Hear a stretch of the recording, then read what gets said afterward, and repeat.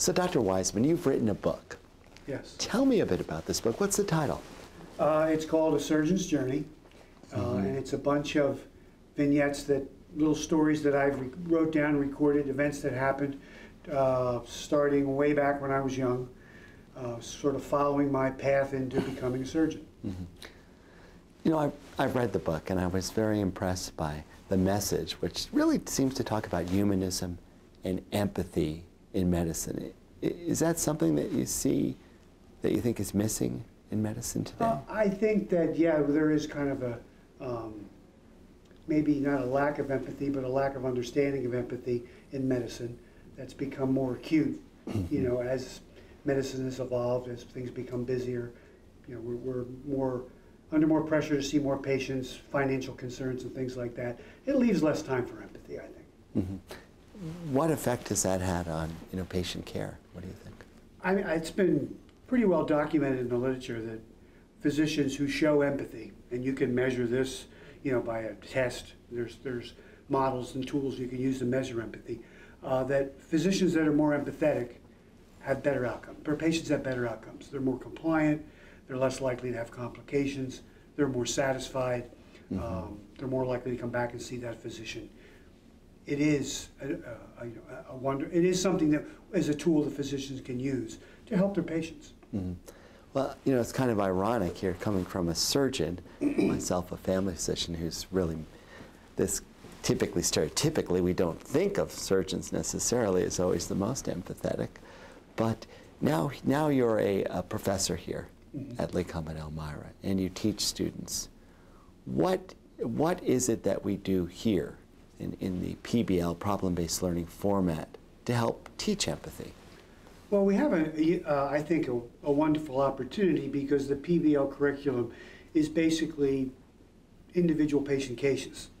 So you, within those cases, there's always an opportunity, most of the cases, um, to look and say, what's the, the psychosocial aspect of it? Where would, if we define empathy, however we define it, where would that come into play and maybe help with the patient outcomes? So I think um, we can, we have that opportunity over two years, so we can kind of reinforce it. I think that's important. Obviously, you teach something once, it goes away. You continue to teach it, then you're going to reinforce it um, and bring it more to, to, to students' minds that this is part of what I need to do to take care of that patient.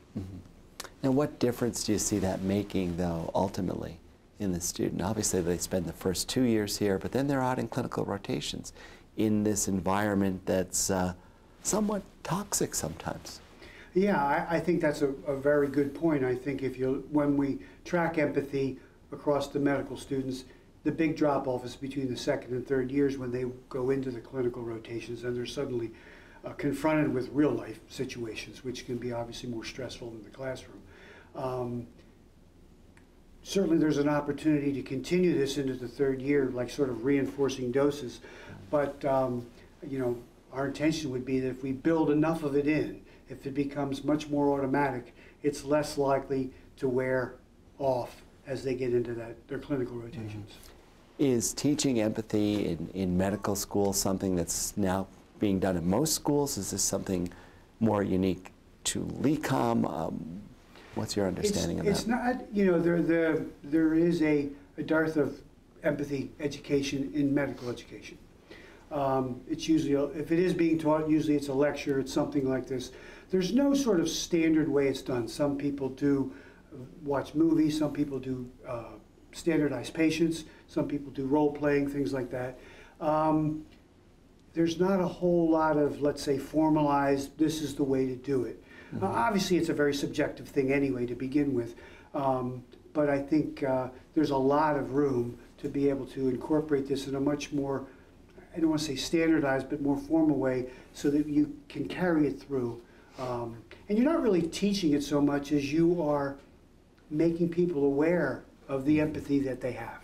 I mean, I think most people are born with empathy. You can measure the neural circuits in the brain when somebody's being empathetic, um, and most people have it. It's make sure they realize that it's there and then realize the benefit not only to the patient but to themselves. Uh, physicians, it's been shown that are more empathetic and more caring and compassionate have less burnout. So it's not only just for your patient; it's for it's for you. So and it's a win-win. You know, it, it's an e, it's and it doesn't it doesn't cost anything. Right. You're not ordering a test. You're not doing this. You're just merely taking some extra time or actions or whatever, um, and it benefits the patient. Now, why is it that some studies are, are showing that students, in fact, from year one of medical school to year four, and then through residency, become less empathetic? What is it about that continuum of training when they hit the clinical years that's uh, making students be perceived as less empathetic? What is it? I think that um, obviously you can only prepare so much in the first two years for the reality of clinical medicine. And you go out there and you um, encounter some very difficult situations. What do I do? You know, it's somewhat overwhelming. You take a relatively, you know, someone in their 20s, maybe they don't have a, a significant life experience, they haven't been through those sorts of things. They see death, they see suffering, they see a child die or something like that. How do I deal with it? They look to their mentors. And um, the mentors looked, looked to their mentors. And there was actually some, oh, this was maybe 50 or 60 years ago, maybe even longer, there was a feeling that you needed to be somewhat detached to be a good physician. Um, and even that was the idea of the first day showing people cadavers, that you were going to desensitize a little bit. And it is a reasonable protective mechanism.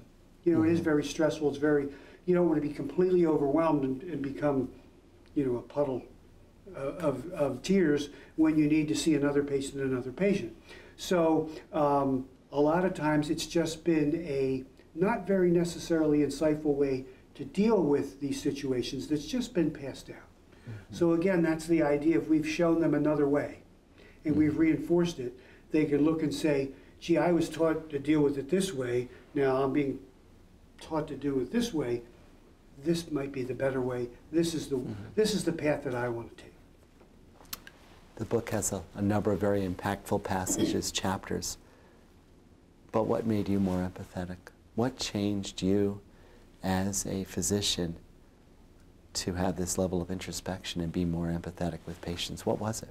Well, unfortunately, you know, it usually takes something uh, significant like that. And that was the loss of my son. And this occurred when my wife and I were both residents.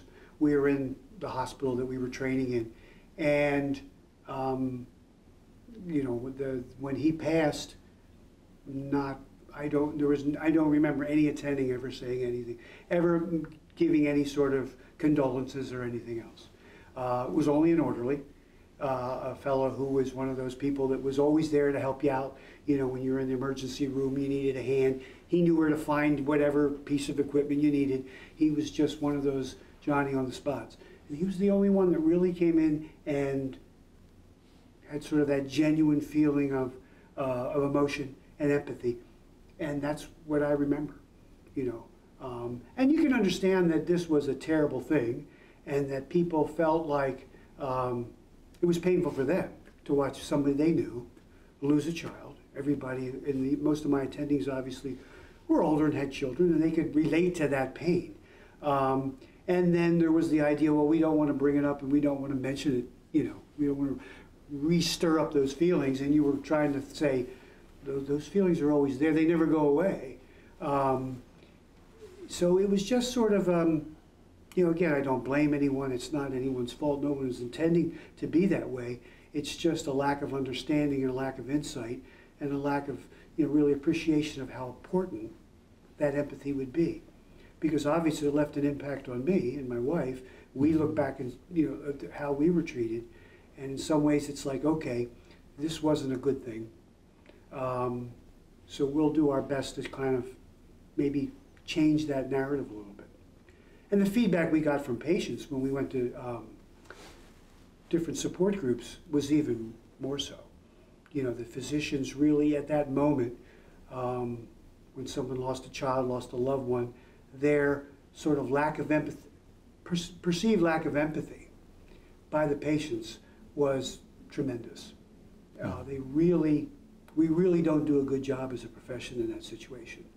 So part of this is to sort of correct that, if you will. Mhm. Maybe make a difference, make, make physicians, physicians in training understand that this is very important. This is a uh, life-changing event for the patients, um, and that your words have power. You're in a position of authority, in a position of, you know, of knowledge and intelligence, and patients are looking to you for some help.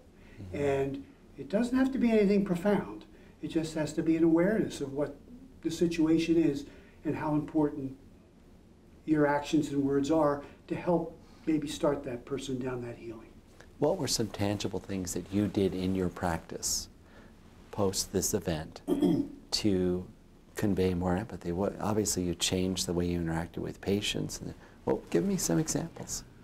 Um, I mean, you know, it's it can be something as simple as when you walk into the room, you know, you smile. Where do you sit? You know, um, sitting even with the patient, um, asking people. You know, I always like to look at where people were from, if they were they lived close to where I live, or something like that, or they had something in common, or um, if you talk to them a little bit, find out if they had hobbies or something like that. That's what I always miss about the I- I miss about the uh, old charts. So in the paper charts, you could write things in the margin about people, and there was a little note there. This guy likes to fish, or this woman likes to you know quilt, or something like that, and you could start a little conversation. Thirty seconds, a minute, and then that that patient looks and says, "Oh, this person cares about me," because they went a little bit extra just to find out about me. You know, so I think those things were important. Um, also, even though you know, you're, I don't know. Sometimes I think some people are just better with their mannerisms, or they don't recognize that sometimes the way their, you know, their, their body positions, all that nonverbal communication, how much that can turn patients off. You know, for you know, I, again, I teach the students if you're going to talk to somebody, you should be, you know, you should be even. That makes puts the patient at ease. If you're standing up and they're sitting down, there's a, there's there that can be intimidating, especially they don't know you. You know, they have this. You're the doctor. You're in that white coat. Oh my goodness, you know that sort of thing. Those things, they're little things Right. you know, right up to the point when I would have to go out and tell someone, you know, as a surgeon, you know, somebody comes in, trauma, something like that, go out and tell them that their loved one has died. Um, you know, maybe relate some of my story, and uh, and give people that idea that wow, this this person, they're just like me. They understand. Mhm. They have some sort of insight, and it, it I think it helps people.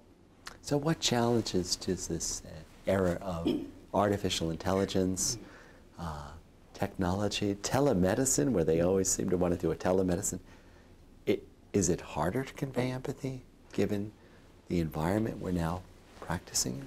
I think so. I mean, it definitely is because there. I think it's the you know we can go on and on about phone, I you know cell phones and things like that, but um, if eighty percent of communication is nonverbal, you take so much of that away when you're doing that Mhm. virtual or texting or whatever else like that. You can't get the you can't get the impression.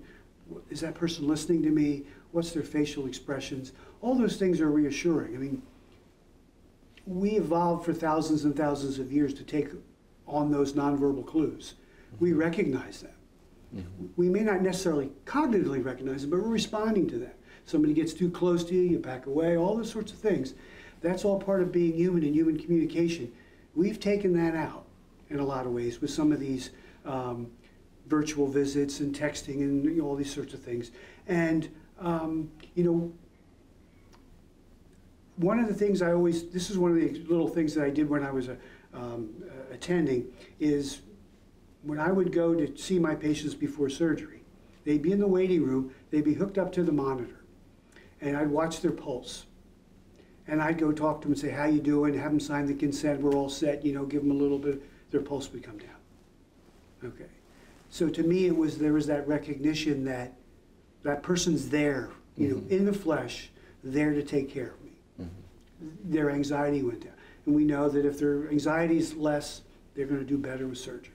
So it's very, and then you combine that with, you know, the we have to see more patients and money's tight and all those sorts of things.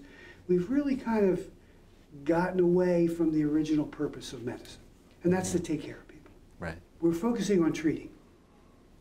We, we need to refocus again on taking care of people, Mhm. you know, because we can't always treat people. but we can always take care of them. And that's our, that should be our first and foremost thing.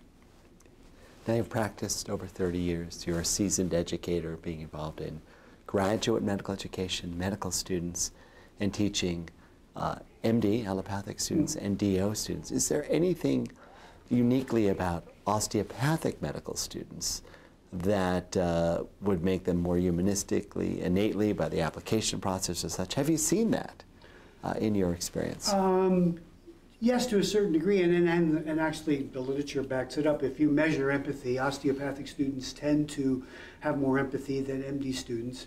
Um, I don't think it's the degree per se. Okay. It tends to be, uh, uh, osteopathic physicians tend to go into more family practice, more people-oriented things, and those specialties have more empathy.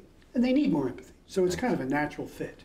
So, um, you know, certainly it's a, a very intriguing idea that the, the osteopathic philosophy instilled in them would maybe give them empathy. That's Right. a that's a interesting idea.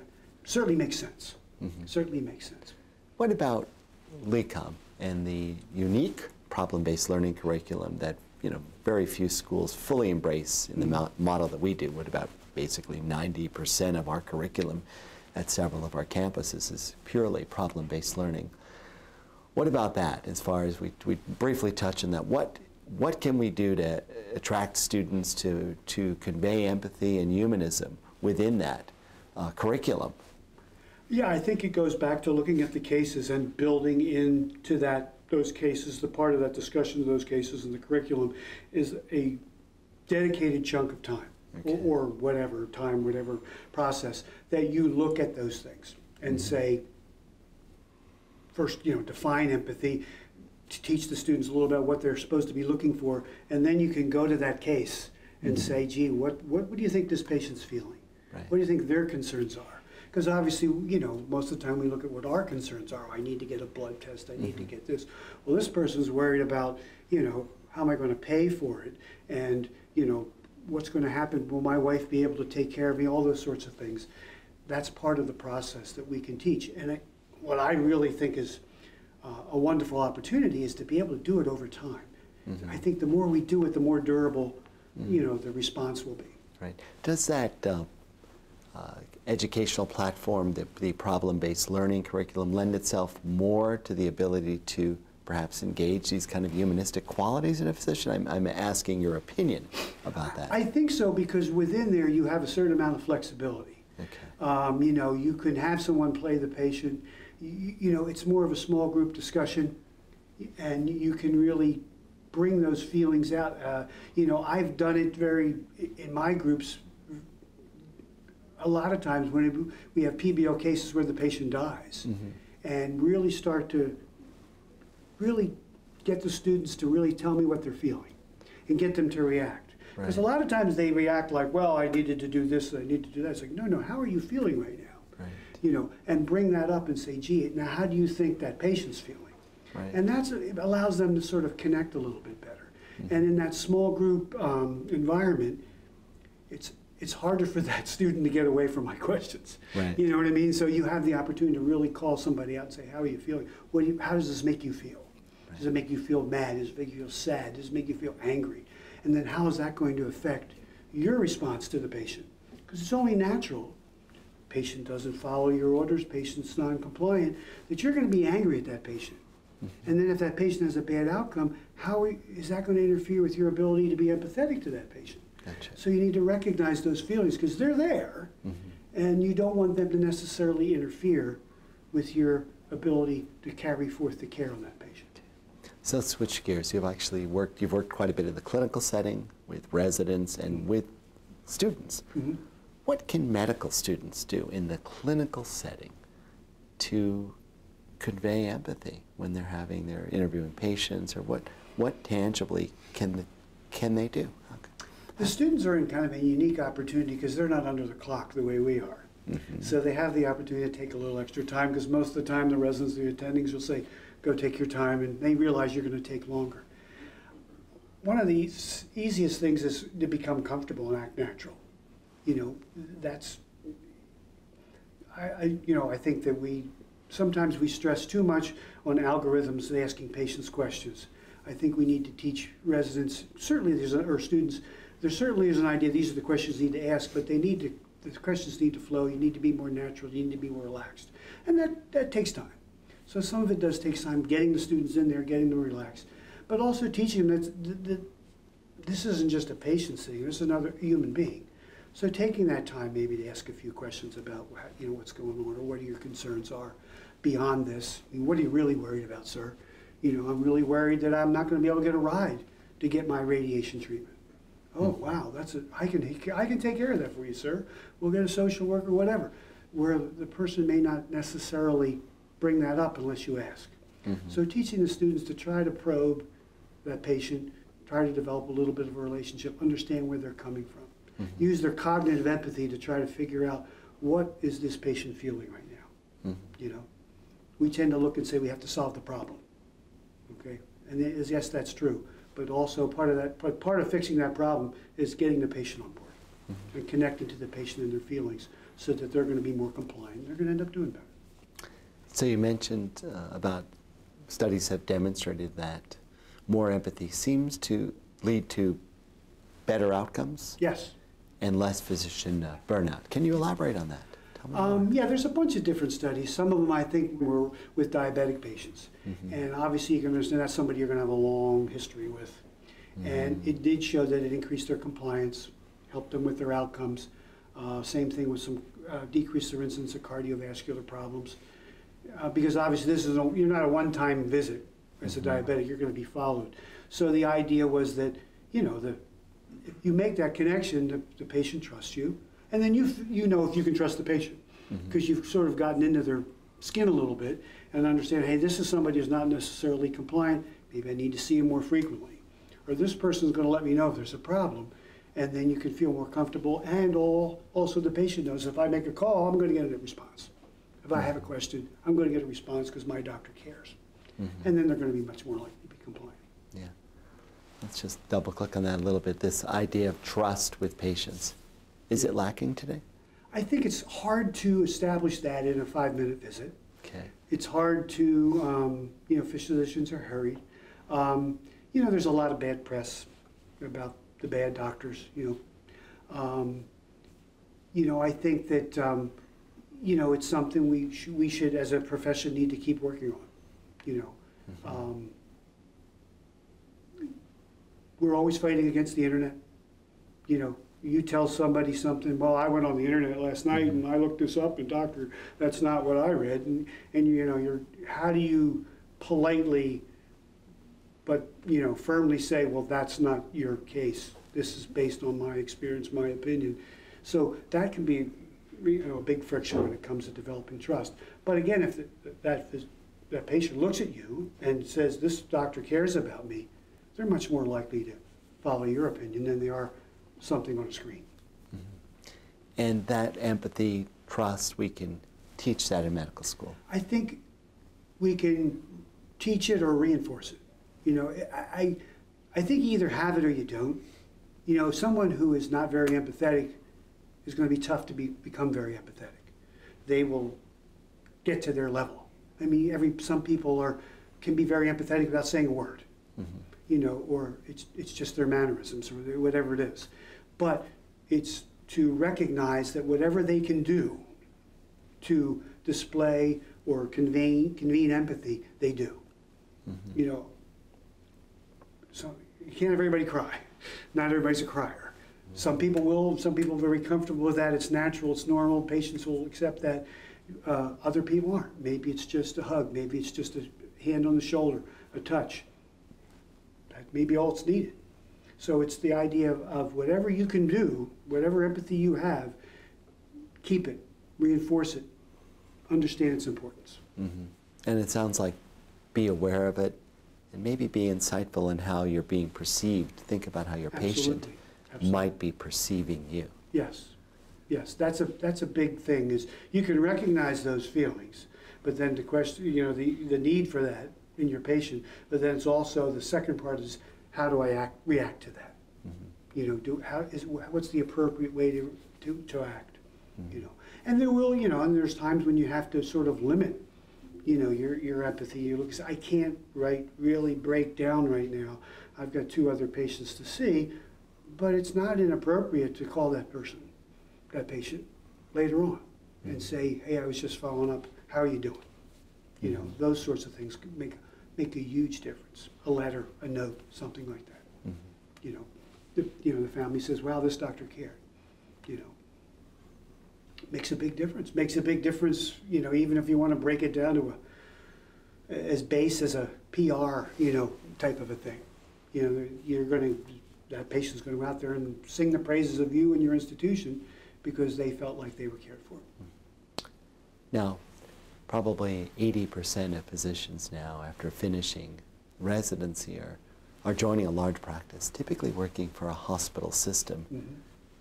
Do they encourage this? Do they promote this among their uh, physicians that they hire? Is it something that, that's valued by, by, Um, by the larger hospital systems? The short answer is no, um, uh, but it should be. because, you know, if, and I, it would be an interesting study to actually crank the numbers, but I Mhm. guarantee you it would be cost effective. That if, you know, allowing people, you know, using that empathy to increase compliance and decrease complications and decrease all those sorts of things, doesn't cost you anything. You're not earning a test. You're- Yes, you're taking more time maybe in the office, okay? I'm sure there, and there's, you know, some bean counter can look at that. But in the long run, it's probably cost effective.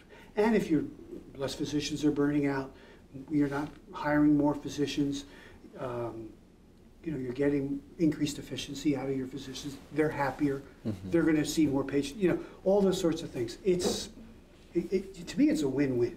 Mhm. And I'm not talking about you have to get everybody, you know, super sappy and all and sing kumbaya. It's just simple things that I think we all know how to do.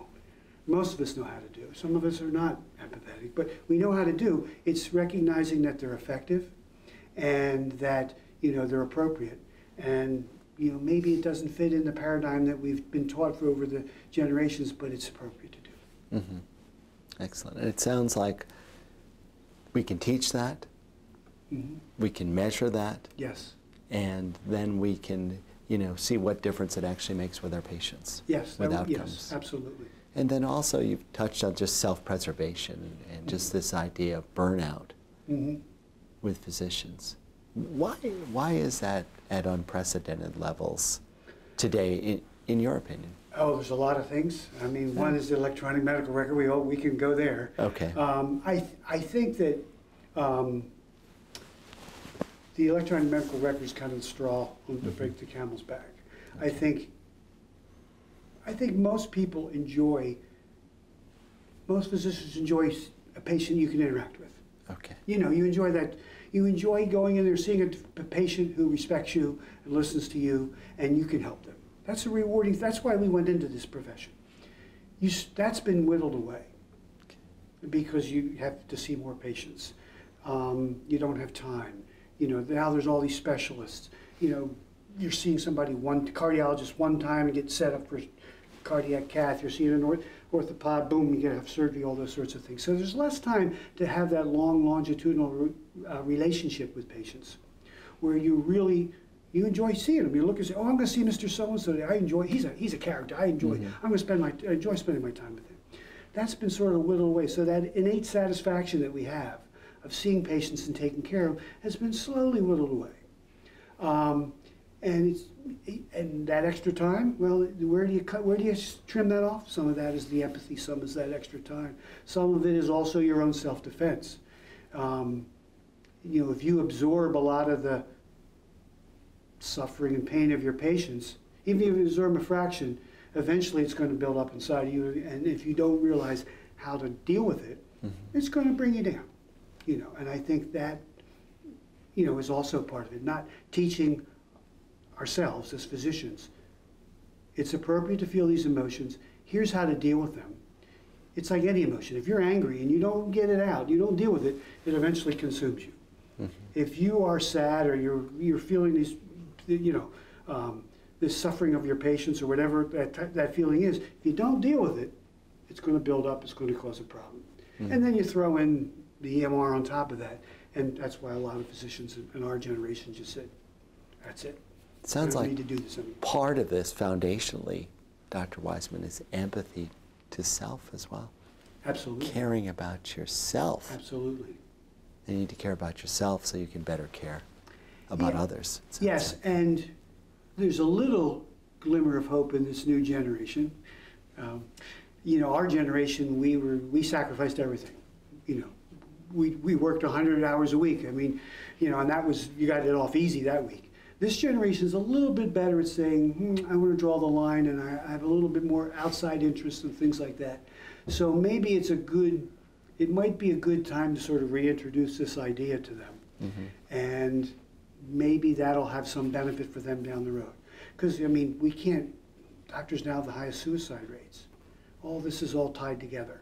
Mhm. You know, we can't keep going down the same way. We're just going to keep burning out physicians. Good people, people went into this profession, which is a noble, wonderful profession for all the right reasons, and then they get chewed up and spit out.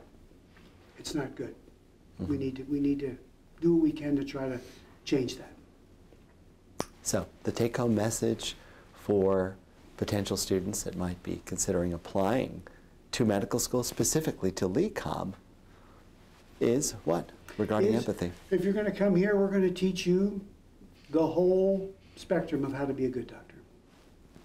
Whether, you know, the, the knowledge, the techniques, and then all those other non clinical, non sort of, all those other things that make a big difference, Such as empathy. such as empathy. Thank you.